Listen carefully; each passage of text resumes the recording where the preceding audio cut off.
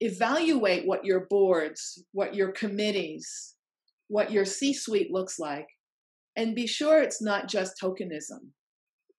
Be sure that we are working not just to have representation at the table, but that you really see, hear, and act on you know the other things institutionally that needs to be addressed you can't have an institution that is working against the pernicious and persistent and enduring strains of racist behavior and anti black and brown behavior by just fixing your numbers. You've got to change the culture.